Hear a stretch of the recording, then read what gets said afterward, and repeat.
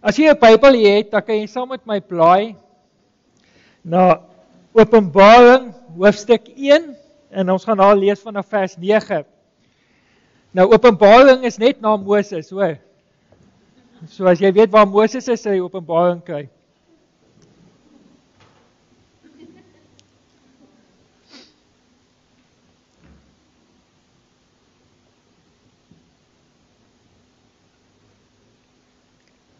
Het jy hom?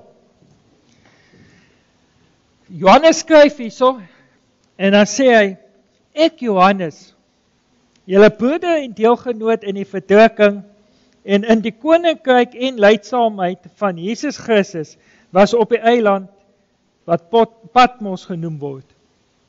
Ek wil net weer die teksvers lees. Luister mooi wat sê hy hierso. Hy sê ek Johannes ek is julle Putin en ek is 'n deelgenoot net soos jy. Hy sê ek is 'n deelgenoot in wat sê hy in in verdrukking in die koninkryk van God en in lydsaamheid. Daar's drie belangrike goed wat hy noem en ek wil net hê ek wil dit highlight as ek dit so kan sê. Onthou dit. En dan gaan hy verder, dan sê hy wat Patmos genoem word ter wille van die woord van God. So daar's 'n rede hoekom hy nou verdrukking ly en lydsaamheid het. Ter wille van die woord van God en om die getuienis van Jesus Christus. Ek was in die gees op die dag van die Here en ek het 'n groot stem agter my gehoor soos van 'n basuin wat sê: Ek is die Alfa en die Omega, die eerste en die laaste. En skryf wat jy sien in 'n boek en stuur dit na die sewe gemeentes in Asië en Efesië en Smyrna Smyrna julle moet my help hierso hoor. Lees reg en ek sê dit verkeerd. OK. En Pergamum, Thyatira en Sardis en Philadelphia en Laodicea. So daar's wat kom ek nou reg. Toe draai ek om om te sien watter stem met my gespreek het. En luister, dit is ook baie belangrike gedeelte. En toe ek omdraai, het, het ek gesien sewe goue kandelaars en tussen die sewe kandelaars een soos die seun van die mens met 'n kleed wat tot op die voete hang en gegord om die bors met 'n goue gordel sy hoof en hare was soos wit wol soos sneeu. Sy oë soos 'n vuurvlam sy voete soos blink koper wat gloei in 'n oond en 'n stem soos die van 'n bassein van baie waters en in sy regterhand het hy sewe style gehou. En 'n skerp tweesnydende swaard het uit sy mond uitgegaan en sy aangesig was soos die son wat skyn in sy krag. En toe ek hom sien, val ek soos 'n dooie aan sy voete. En hy het sy regterhand op my gelê en vir my gesê: Moenie vrees nie. Ek is die eerste en die laaste, die lewende En ek was dood. En kyk, ek leef tot in alle ewigheid. Amen. En ek het die sleutels van die doderyk en van die dood. Skryf die dinge op wat jy gesien het. Die wat is sowel as die wat gaan gebeur. Die verborgenheid van die sewe sterre wat jy in my regterhand sien, gesien het en die sewe goue kandelaars. Die sewe sterre is die engele van die sewe gemeentes. En die sewe kandelaars wat jy gesien het, is die sewe gemeentes. Dit is die woord van die Here. Tot sover. Nou hier is Johannes. Johannes is nou nie meer so jonkie. Hy's op die einde van sy lewe. En hy word ge, as gevangene na die eiland van Patmos gestuur. Nou as jy nou al 'n bietjie gaan kyk het hoe lyk Patmos, ek het al gaan kyk hoe lyk hy op 'n um puntjie. Daar gaan nie veel aan op Patmos nie. OK. Nou, daar's 'n grot daarse wat uh, volgens die oorleweringe is, daar's nou 'n kerk ook wat nou daar in die grot gebou is soos wat die ouens maar daar maak. Waar hulle nou gereken het pad uh um Johannes nou hierdie openbaring nou gekry het. Hier word hy soontoe gestuur na hierdie eiland toe omdat hy 'n Christen is. En die Christene daardie tyd 'n probleem vir die wêreld begin raak het. Stuur hulle vir Johannes want hulle reken Johannes is 'n groot probleem. Stuur hulle hom nou ook nou maar weg. Om net van hom ontslae te raak. Nou Heel moontlik, volgens die oorlewing, het hy daarso klip gekap. So dit was nie net Mandela wat Mahoma klip gekap het nie, hoor. Hy het heel moontlik het hy Mahoma klip gekap daarso vir die af vir die keiser vir sy afgods um, tempels en ook vir sy eie tempel. Die keiser het ook 'n tempel gehad. En nou kom hy, nou sê hy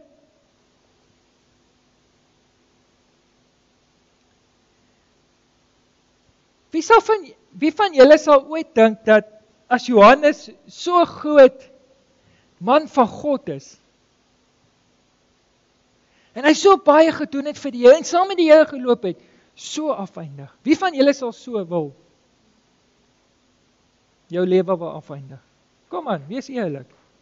Jy weet jy doen so great goed. Jy sien sulke wonderlike goed wat die Here doen en in in in jou bediening, veral nou jy, jy wat nou 'n uh, bediening.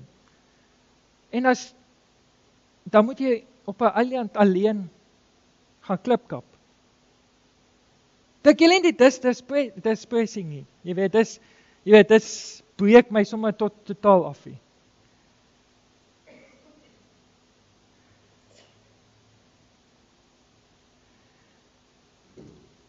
Hulle reken dat hy die evangelie geskryf het hier op 90 jarige ouderdom. Jy weet dis dis al redelik ver gevorder. En dan skryf hy in die evangelie, dan sê hy weet julle wat? Ek onthou nog daai dag toe ek vir Jesus ontmoet het. 4 uur die middag vir die eerste keer wat ek hom gesien het.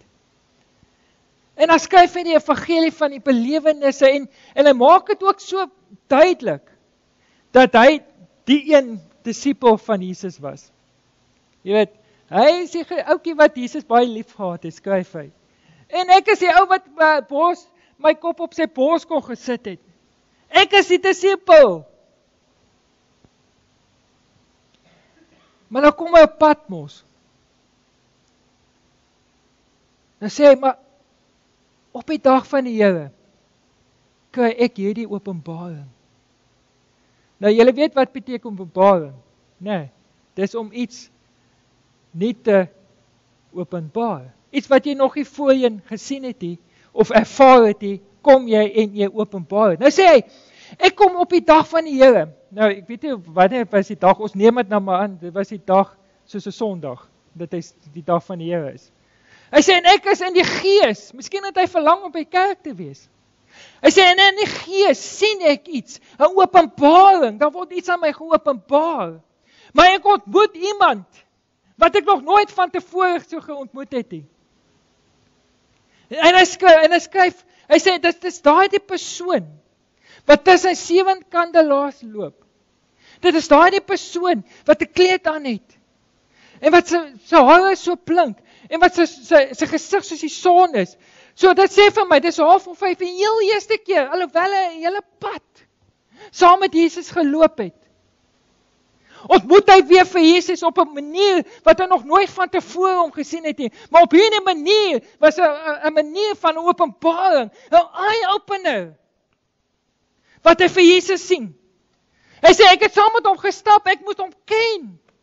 Ek het my kop op sy bors gesit, maar hier sien ek iemand wat ek nog nooit in my lewe so aanskou het nie.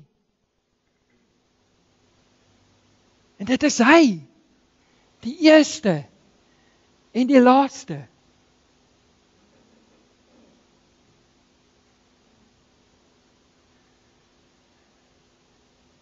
Jesus kom en hy sê hy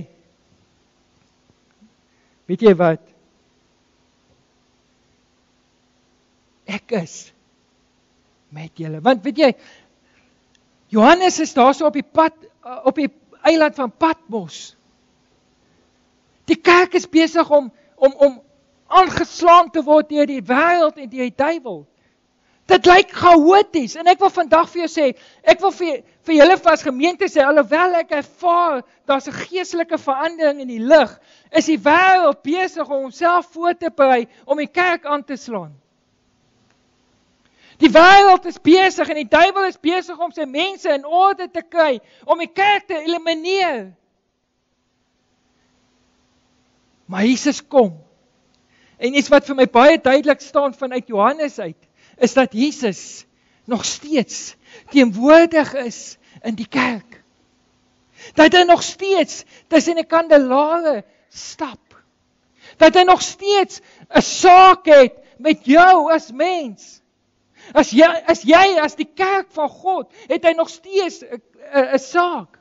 Alhoewel dit 'n um, instansie is wat hy um um gestig het en dit sal altyd so bly. Niemand en niks sal die kerk van God kan um afbreekie. Hoor my vandag, soos wat dit hier staan, maar ek wil vanmôre vir jou sê nog dieper gaan. Jy is die tempel van God en niemand en niks sal die Here van jou wegneem nie want hy stap nog steeds tussen die kandelare. Maar ek wil net gou dit ook noem. Ek moet dan my share inkry in die ding. Het jy gesien daarso hy sê en hy het die sewe sterre in sy hande. Die leeu's van die kerk. OK, daar's baie gevaarlike ding. God eis verantwoording van die leeu's. Maar ek moet vir jou sê, het jy opgelet wat hy sê? Ek is 'n ster. So jy moet ag nee nee nee dis jy moet nie nou lag nie. Dis die verkeerde tyd vir lag. Jy moet my hanteer soos 'n ster. Ek is 'n ster. Moet dan nie soos Patricia sê daar gaan jou sterretjie nie. Nee, ek, ek dis net 'n grap, maar weet julle wat? Ten spyte daarvan is God nog steeds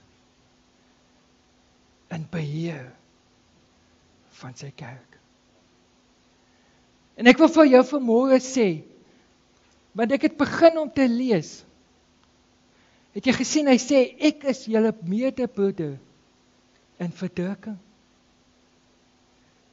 en in swaarkry en in lydsaamheid.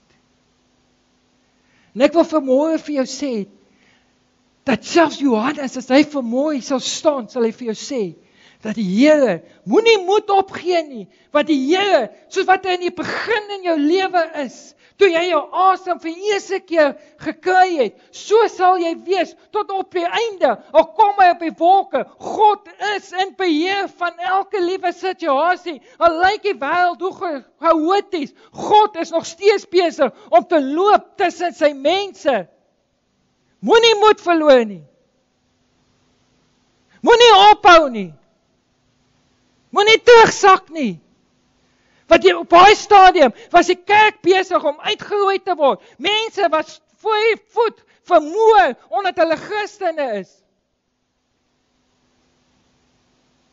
Nou kom Johannes en sê in die tyd loop Jesus nog steeds tussen sy mense.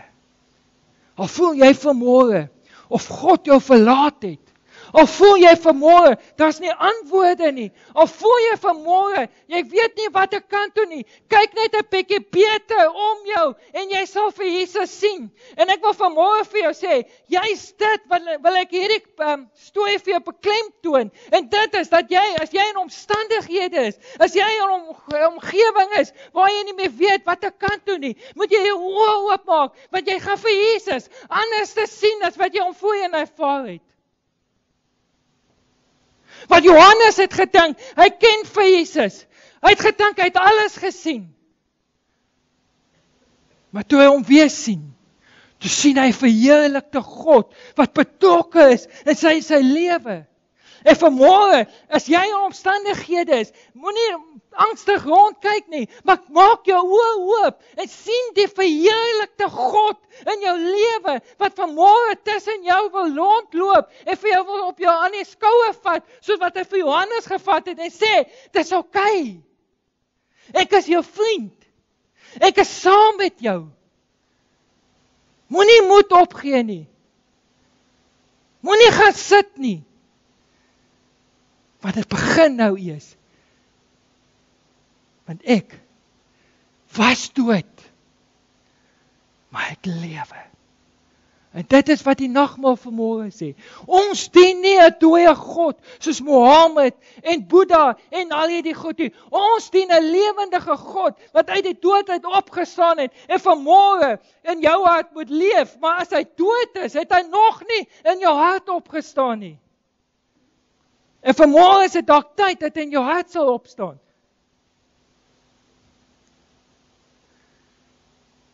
Maar iets belangrik gebeur hierso met Johannes.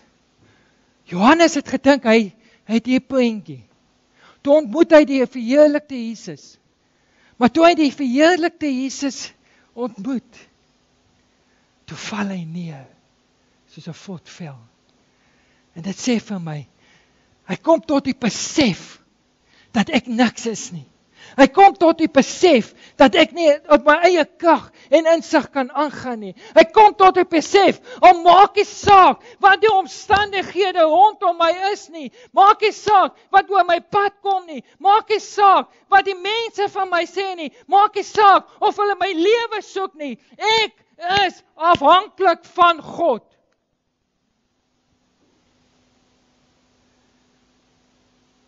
En die Bybel sê en hy het opgestaan.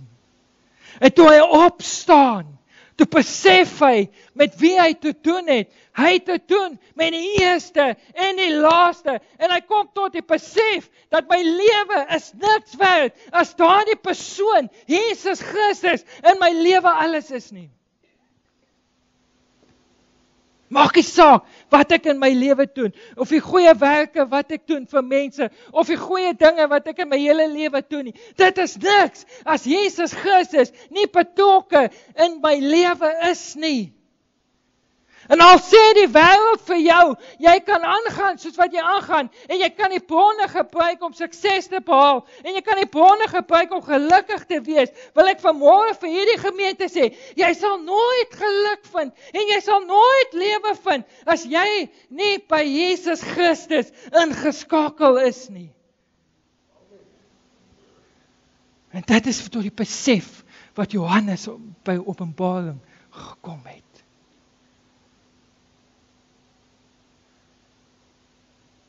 En hy het gesê dit is die openbaring. Die openbaring is nie oor iets anderste nie. Die openbaring is nie oor al hierdie mooi goedjies wat gaan in plek val in in die einde van die wêreld nie. Die openbaring van môre is net een ding en dit is Jesus Christus. Wat in hom kom alles tot stand. Wat aan die begin was hy die een wat alles geskep het. En aan die einde is dit hy wat gaan sê alles is volbring deur hom. En vanmôre wil ek vir jou aanmoedig en te sê in jou omstandighede in jou moeilike tyd in jou tyd waar jy vanmôre sit met 'n strakel of in vaa of in goeie tye of maak nie saak nie. Maak jou oë oop en sien vir Jesus Christus vir wie en vir wat hy is. Sodra jy jou prentjie gaan verander. Hoor my vanmôre. Sodra jy jou prentjie gaan verander, gaan jou omstandighede ook verander. Gaan jou lewensuitkyk verander. Gaan jou visie verander. Gaan jou doel in die lewe verander. Kry Jesus in jou prentjie. Is my boodskap vanoggend. Vanmôre sit jy hierso. Dalk het jy anders gekyk wat rondom jou gebeur. Maar vanmôre roep die Here jou en sê: "Kyk na my." Deur sy dood sê die Openbaring daarso het daar vir my en vir jou lewe gekom.